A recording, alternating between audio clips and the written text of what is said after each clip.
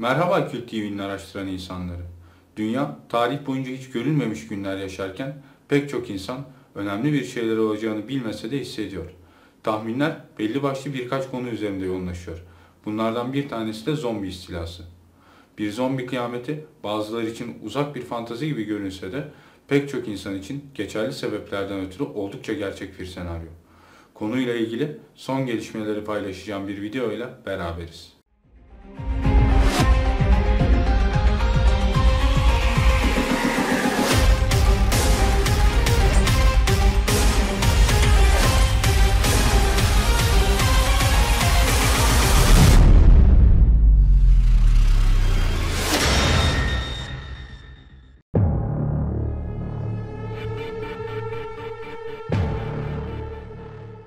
İnsan nüfusunun büyük bir kısmını yok ederek dünyayı başka bir yer haline getirecek bir salgın sorarsanız bunun adı sadece zombi kıyameti olabilir.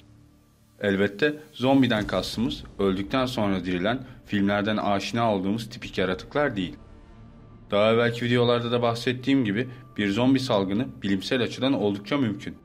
Aslında küresel hastalık salgınları korkunç olmak için zombilere ihtiyaç duymazlar.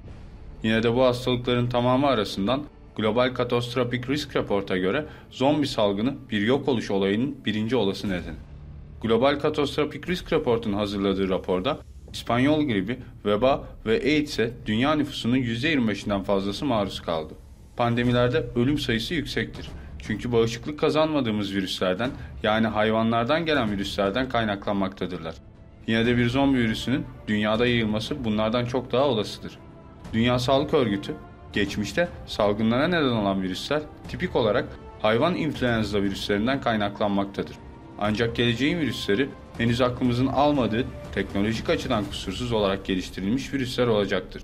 Nitekim salgın hastalıklara sebep olan virüsler zaman içerisinde çevre koşullarına adapte olurken bilim insanları bu süreçte tedaviyi geliştirmeyi başarmıştır. Ancak gelişimini tamamlamış ve özel olarak üretilmiş bir virüsün karşısında insanoğlunun pek fazla şansı olmayacaktır. Yumurtaya dayalı bükülme salgın tedavisi için kullanılan protokolümüzü karmaşıklaştırıyor. Normal bir salgınla mücadele edebilmek için 3 önemli adım. Tahmin, modelleme ve tedavidir. Ancak yayılması muhtemel bir zombi virüsünde bu planlamanın hiçbir geçerliliği olmayacaktır demiştir. Brezilya Sao Paulo Üniversitesi'nden Joe Tomatani'ye göre zombi kıyametini meydana getirebilecek 6 farklı olasılık var. Doktor Tomatani, zombi salgını konusunda dünyanın en önde gelen bilim adamlarından bir tanesi. Elindeki verilere ulaşabilmek için dünyanın en tehlikeli 20'ye yakın bölgesinde zombi virüsü yaratmakta kullanılabilecek 6000'den fazla patojen toplamış ve bunları detaylı şekilde inceleyerek bilgisayar aracılığıyla simüle etmiştir. Yaptığı çalışmalarla bir salgının nasıl başlayıp gelişeceğine dair en somut bilimsel verilere ulaşmayı başarmıştır. Geek Studies isimli bir sağlık kuruluşu, Dr. Tomatani'nin elde ettiği verilerden yola çıkarak belirli bir alandaki insan sayısından ve onları enfekte etmek için ihtiyaç duyulan az sayıdaki zombiden insanların yeni dünya düzenine adaptasyon sürecine dünyanın ne kadarının hayatta kalacağını kapsamlı şekilde anlattığı bir rapor hazırladı. Rapora göre Türkiye'de olası bir zombi kıyametinde hayatta kalacak nüfus sayısı 280 bin kişi. Hiçbir senaryoda zombiler uzun süredir aktif değil. Dünyayı mahvetmeye sadece 3 aylık bir zombi salgını yeterli geliyor. Ayrıca Doktor Tomatani'nin elde ettiği verilere göre acı hissetmemelerine rağmen Zombilerin yaraları insanlarınkine oranla 4 kat daha hızlı iyileşiyor. Bunun anlamı şu. Bir zombi salgını, virüs, bulaşabileceği sağlıklı insanlar bulabildiği sürece insanoğlunun şimdiye kadar gördüğü en hızlı salgın hastalık olarak cereyan edecektir. Ya da Tomatani'nin kasvetle özetlediği gibi herkesin zombi olabilme ihtimali vardır. Ayrıca filmlerdekinin aksine çok aptal ve yavaş değil, göreceli olarak biraz daha zeki ve hızlı olacaklardır. Tedbirlerse net değil.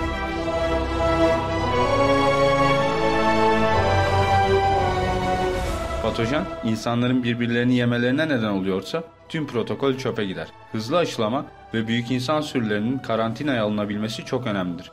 Çünkü hastalık çok hızlı yayılır. Bu yüzden de bilim insanlarına hastalığı doğru bir şekilde modellemek ve aşı geliştirmek için daha az zaman kalır. Fakat büyük insan sürülerini karantinaya alabilmek neredeyse imkansızdır. Örneğin Amerika Birleşik Devletleri bile 1 milyon kişilik bir insan sürüsünü karantinaya alacak güce sahip değildir. Tomatani'nin en iyi ve en kötü senaryosu şöyledir. Birinci senaryo iyi olan. Bu senaryoda nüfusun %20'si ilk enfeksiyon dalgası sonrasında hayatta kalmaya adapte olabildi. Bir süre sonra virüse karşı %50 etkili bir aşı geliştirilebildi. Topluluk eğitildi ve zombilerle mücadele konusunda bilinçlendirildi.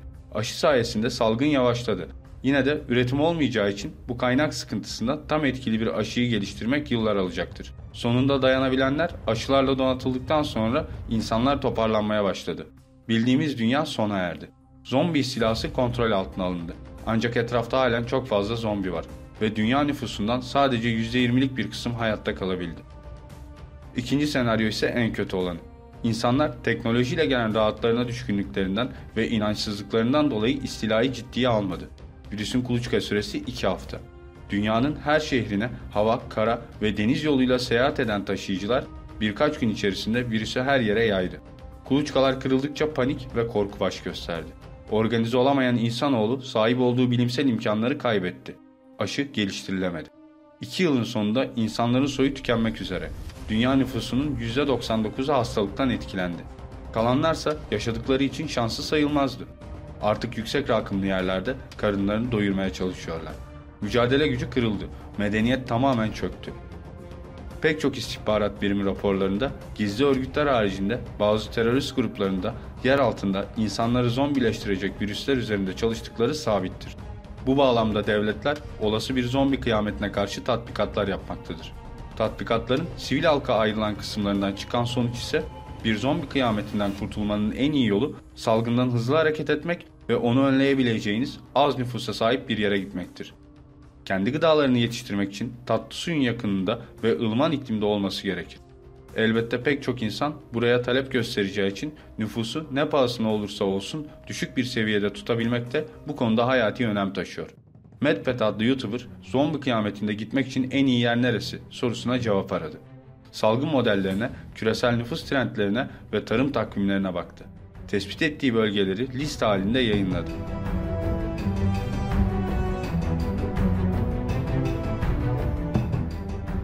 Dünya çapında zombi kıyametine inanan binlerce kişi salgına hazırlanmakta, Dark Web üzerinden organize olarak gruplar kurmaktadır. Bazı grupların bu iş için ayırdıkları bütçeler öylesine yüksektir ki sıradan bir insanın bir ömür çalışsa kazanamayacağı meblağları zombi kıyametinde kullanabilecekleri araçları ard arda satın almak için kullanmaktadırlar. Grupların kıyamet için hazırladıkları birbirinden ilginç tasarım harikası sığınaklar, dağ evleri ve benzeri yapılar adeta göz almaktadır. Bu akımla beraber pek çok firma da zombi kıyametinde kullanılmak üzere tasarlanmış araba, motosiklet ve çeşitli araç gereçleri üretmeye başlamıştır. 2000'li yılların başından beri Dark Web üzerinde çeşitli adreslerden yayın yapmakta olan Deep World adlı haber teori bloğu bu konuda yaptığı bir paylaşımla zombi gruplarının faaliyet gösterdikleri forumları hareketlendirdi. Deep World bloğu Amerika'nın Irak'ı işgali, İkiz Kuleler saldırılarını, Suriye'deki iç savaşı, Obama ve Trump'ın başkan seçileceğini yıllar öncesinden açıklayarak takipçileri arasında hayli ses getirmişti. Pek çoklarına göre blog sahibi eski bir CIA direktörü. Yaptığı paylaşımda ise 18 Kasım 2018 tarihinde Amerika'da yaşanacak sansasyonel bir olayın bir grup olaylar zincirini başlatacağını, takip eden birkaç ay içerisinde de ilk zombi vakalarının görüleceğini, 2019'un sonlarına doğru da salgının tüm dünyaya yayılacağını anlatan bir yazı kaleme aldı. İddialarını Simpsonlar, Z Nation ve The Walking Dead gibi bazı televizyon programlarında belli şekillerde bu tarihe atıfta bulunduklarını, FEMA kamplarının kuruluşlarından beri ilk defa turuncu alarm seviyesine çıkarıldıklarını ve ünlü deşifreci Edward Snowden'in durumdan haberdar olduğunu anlatarak destekledi. Amerikalı bilgisayar uzmanı, eski CIA ve eski Ulusal Güvenlik Dairesi çalışanı olan Snowden, gizli Ulusal Güvenlik Dairesi belgelerini medyaya ifşa ederek Ulusal Güvenlik Dairesi tarafından yürütülen küresel izleme aletlerinin işletme detaylarını, UFO'larla ilgili yapılan çalışmaları, beş göz ortakları, pek çok ticari ve uluslararası ortaya çıkartan Ulusal Güvenlik Dairesi sızıntılarını başlatmıştır. Snowden'ın gizli belgeleri ifşa etmesi, Pentagon evraklarını sızdıran Daniel Ellsberg tarafından Amerika Birleşik Devletleri tarihindeki en önemli sızıntı olarak nitelendirilmiştir. 5 Haziran 2013'te başlayan bu süreç, Prism, XK-Score ve Tempora gibi internet izleme programlarının yanında Amerika Birleşik Devletleri ve Avrupa'nın telefon metadatalarının alıkonulmasını ortaya çıkardı. Raporlar Snowden'in Ulusal Güvenlik Dairesi çalışanı Buzz Allen Hamilton için çalışırken The Guardian ve The Washington Post'a sızdırdığı belgelere dayanmaktadır. Gazetelere yapılan siyasi baskılar sebebiyle Kasım 2013'e kadar The Guardian belgelerin %1'ini yayınlayabildi. Adil yargılanmayacağını düşünüp ülkeyi terk eden Snowden, başta Latin Amerika'ya kaçmayı düşünürken Julian Assange'ın tavsiyesiyle Rusya'ya gitti. Rusya'da havalimanında bir süre kaldıktan sonra Temmuz 2013'te bir yıllık geçici siyasi sığınma hakkı aldı. Sürenin dolmasından sonra 1 Ağustos 2014'te 3 yıllık geçici oturum hakkı elde etti. Deep World'un açıklamasının üzerinden bir ay geçmesine rağmen Snowden da bu durumu yalanlamadı. Aksine Twitter hesabı üzerinden kısa süreliğine zombi kıyametiyle bütünleşmiş olan biohazard sembolünü yayınladı. Daha sonra da kaldırdı. Blog ilk açıklamasından bir hafta sonra yaptığı ikinci açıklamasında salgının Afrika'da başlayacağını ve salgında kullanılacak olan patojenin yarı organik yarı mekanik muhtemelen nanoteknoloji ürünü daha evvel görülmemiş bir virüs olacağını duyurdu. Son olarak tarihin şu an için kesin gözüktüğünü ancak gelişen olaylara göre ertelenme durumu olursa net tarihin tekrar paylaşılacağını ekledi. Ben de bu konuda bir gelişme olduğu takdirde Instagram hesabım üzerinden sizleri bilgilendirmeye devam edeceğim.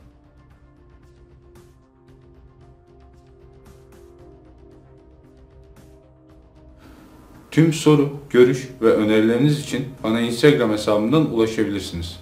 Araştırmalarımızın gelişerek devam edebilmesi için videoyu Facebook, Twitter gibi sosyal ağlarda paylaşmayı, yeni videolarımızdan haberdar olup araştıran insanlar toplumuna katılmak için Kült TV'ye abone olmayı unutmayın. Gelecek videoda görüşünceye kadar hoşçakalın araştıran insanlar.